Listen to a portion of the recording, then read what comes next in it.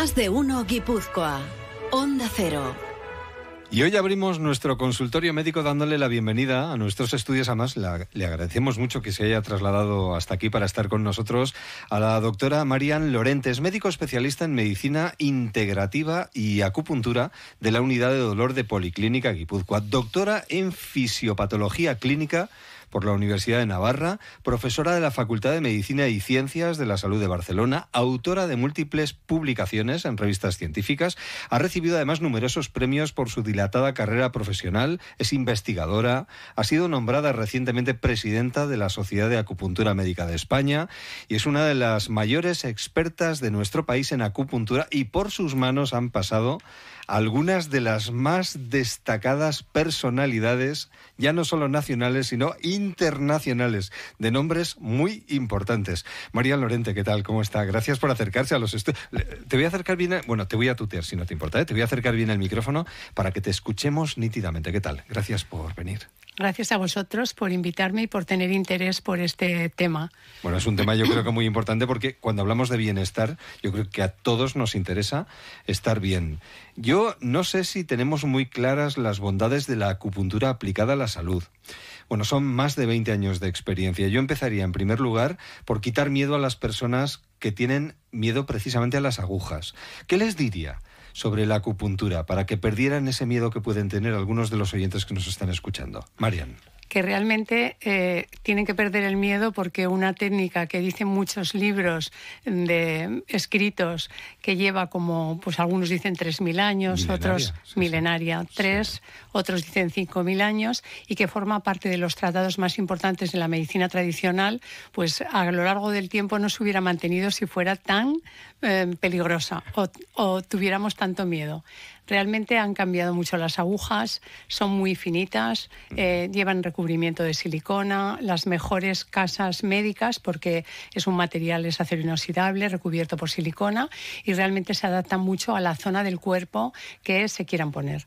Los que han tenido la experiencia de nuestros pacientes pueden también preguntarles y pueden mirarlo ahora que están pues en, los foros de los pacientes que realmente cada vez se publica más además. Claro, este no es doloroso para nada y aunque entiendo que las agujas a nivel médico, incluso para hacer una extracción de sangre que no tiene nada que ver, pues producen en algunas personas un cierto eh, pues rechazo porque realmente pues a veces puede parecer agresivo. Bueno, yo no sé si lo he dicho, pero sí me gustaría remarcarlo, ¿eh? que la doctora Marian Lorente, médico especialista en medicina complementaria de la unidad de dolor de Policlínica Guipúzcoa, hablando precisamente de, dolor y del tratamiento del dolor crónico.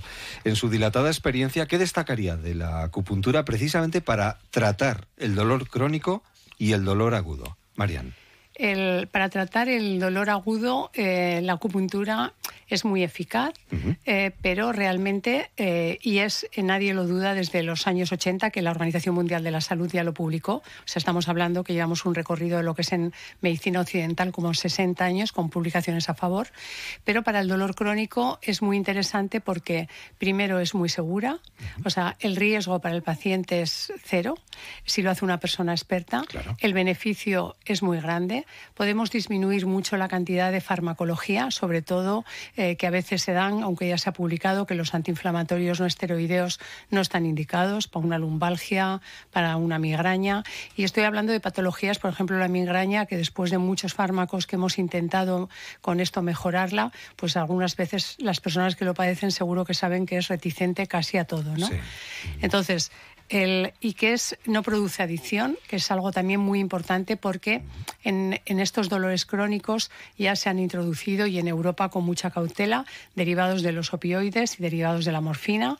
Y seguro que algunos pacientes eh, o personas que me están oyendo pues toman tramadol, toman lírica y toman entonces tiene un riesgo para la salud importante y efectos secundarios como puede ser el estreñimiento, con lo cual efectos digestivos. Lo que sería muy importante es decir que es una medicina física y que no produce efectos secundarios y que es muy segura.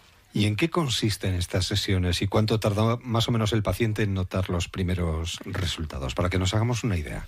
Depende mucho de por la patología que se va, ¿no?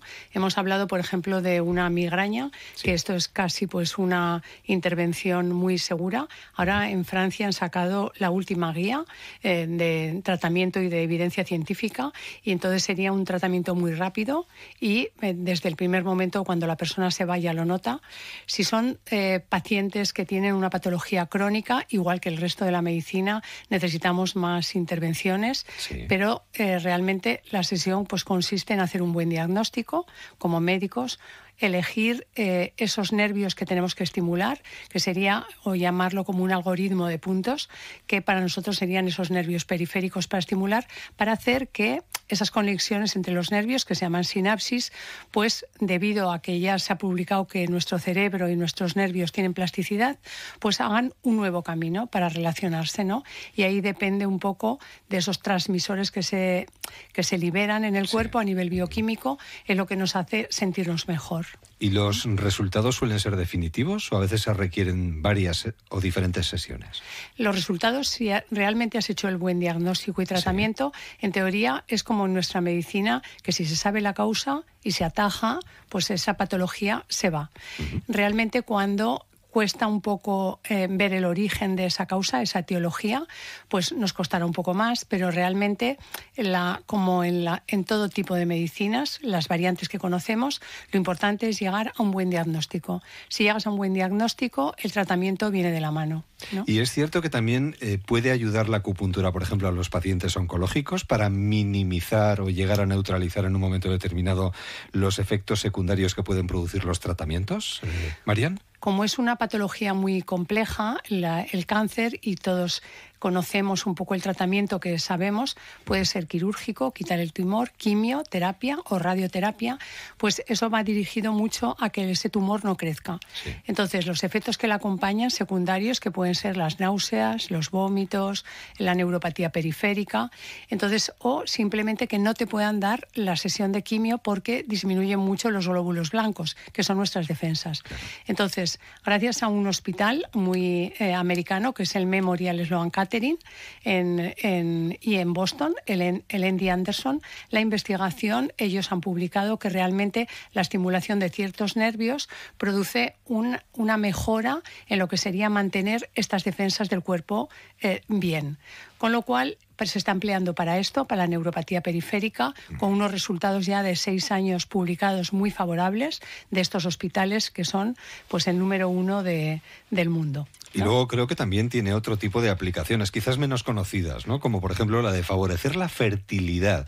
Esto me ha llamado especialmente la atención. ¿Cómo puede ayudar la acupuntura, por ejemplo, en un proceso de fertilización si me quiero, no sé, eh, o queremos eh, tener. Eh, tener. un hijo, claro, o una persona se quiere quedar embarazada? ¿Y cómo debe realizarse el tratamiento?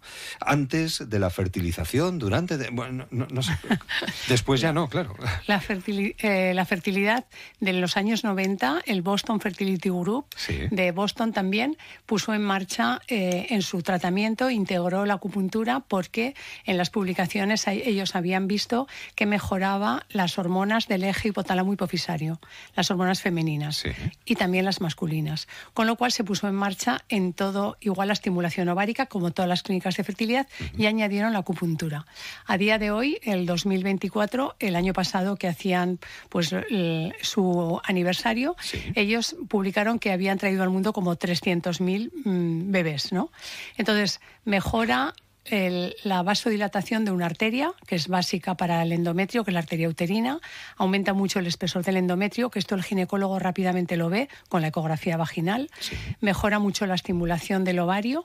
Y lo que es importante es que el, ambiente para, para favorecer la fertilidad es, es, muy adecuado tanto a nivel femenino, que siempre se piensa en la mujer, como a nivel masculino respecto a la movilidad de los espermatozoides y al número. O sea, favorece y ayuda. Y para terminar, ¿a quién más eh, recomendaría una sesión de acupuntura? Porque, hombre, eh, mm, no sé, uno siempre quiere encontrarse mejor, sacarse mayor partido a sí mismo, ¿no? Y eh, en el caso sorprendente de que, no sé, la mejoría que uno haya vivido nos haya podido, no sé, beneficiar y nos esté beneficiando sorprendentemente también, ¿cómo le podemos sacar partido a todo esto? ¿A, a quién le recomendaría? Yo le recomendaría a las personas que están preocupadas un poco por su salud en este plan de mejora a nivel personal, que eso repercute luego a nivel profesional, porque realmente estamos regulados por dos sistemas que son inconscientes de control, que son el sistema simpático y el sistema parasimpático. Esto en la medicina china, pues los chinos hablaron de la energía o del chi, que para nosotros sería esto, los dos sistemas, y realmente lo tenemos mm, la mayor parte de las personas por el estilo de vida que tenemos, que tenemos más tiempo para el trabajo y menos tiempo para el descanso, pues algunas personas pues es regular estos dos sistemas, el sistema simpático y el sistema parasimpático. La regulación a través de esa estimulación nerviosa es relativamente es factible, es fácil, es lo que está publicado y te da un equilibrio de esos dos sistemas que es como tener el cuerpo en homeostasis. Tiene una, una relación directa con el control de la ansiedad y del estrés y de a nivel bioquímico diríamos que ya todos conocemos lo que son los neurotransmisores el cortisol pues lo tiene mucho más controlado y estas hormonas que nos hacen sentirnos o neurotransmisores mejor que serían las endorfinas y las dinorfinas pues de alguna manera nos benefician a nivel de satisfacción de vida de satisfacción corporal es decir me siento bien son muchos años trabajando. ¿Hay algún caso que le haya sorprendido especialmente? Y con esto ya terminamos. Lo que me sorprende mucho es cuando una persona viene, de lo que hemos hablado de la fertilidad, que igual lleva pues tres procesos fallidos y bueno, te mandan una ecografía y te dicen, bueno, ah, esta... qué bonito. Es, es muy reconfortante. Esto es de lo más, bueno, porque, porque una nueva vida siempre da mucha alegría. Las personas que lo persiguen pues lo han pasado mal y han sufrido en ese proceso y realmente pues es una cosa muy reconfortante. Casos significativos parecidos, pues cuando una persona pues que le han operado de próstata pues tiene un poco de neuresis y se le escapa el pipi. Esto lo han publicado también en el Journal of Urology también una cosa muy sencilla que mejora mucho la calidad de vida, que son pequeñas intervenciones, que es por a veces lo que los que hacemos este tipo de medicina nos sentimos satisfechos, que con, nos sentimos que con poca actuación pues hacemos un gran beneficio, ¿no? Y esto pues desde el punto de vista de nuestra sociedad, de la Sociedad de Acupuntura Médica de España, es lo que queremos resaltar y animar a los médicos y a los pacientes a que se acerquen un poco más a este tipo de medicina. Que conozcan el mundo de la acupuntura y sobre todo que conozcan las bondades de la acupuntura, que esto es fundamental, no solo para el tratamiento del dolor o los efectos secundarios de los tratamientos oncológicos, sino también para facilitar la fertilidad para, y otras muchas patologías y para sentirse bien, que esto es lo más importante. Bueno, como siempre recordamos a nuestros oyentes que para cualquier consulta lo único que tienen que hacer es llamar a Policlínica Guipúzcoa al 94300 9331 o pueden hacerlo también a través de la app Mi Quirón Salud alguna cosita querías añadir. No, exacto, que me ha gustado mucho que, que, en este ambiente que estamos a nivel científico, pues Policlínica y el Grupo Quirón, por ejemplo, están eh, abiertos a ofrecer eh, soluciones médicas eh, con rigor científico a personas que tienen un problema que la medicina que hemos conocido, que conocemos occidental, pues tiene, pues todavía estamos en esa etapa de investigación, ¿no? Eso habla muy bien de los profesionales, sobre todo de Marian Lorente, como doctora médico especialista en medicina complementaria, que está ahí en la unidad de dolor de Policlínica Guipúzcoa. Pues Marian, gracias por acompañarnos, gracias por haber venido y hasta una próxima ocasión. Estamos cerquita, así que volveremos a coincidir. Gracias a vosotros. Nuestro consultorio médico de hoy hablando precisamente de las bondades de la acupuntura. Nosotros continuamos, una y 28.